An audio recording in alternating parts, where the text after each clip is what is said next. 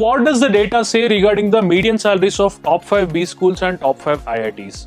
At first glance, IITs looked stronger.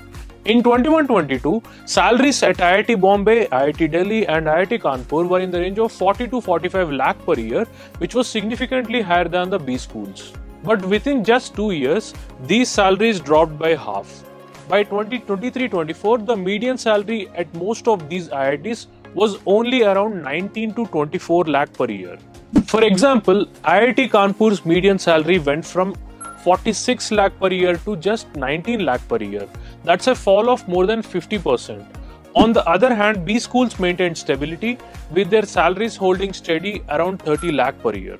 So the picture becomes clearer. Management colleges, especially the IIMs, are showing some resilience in the job market. Salaries are stable and placements are almost guaranteed. Engineering colleges, on the other hand, are facing much more volatility. This also explains why more IIT graduates are now opting for higher studies instead of directly taking up jobs. But it's equally important to note that this does not necessarily mean something is wrong with engineering or that management is better. This trend could very well be an outlier shaped by temporary market conditions.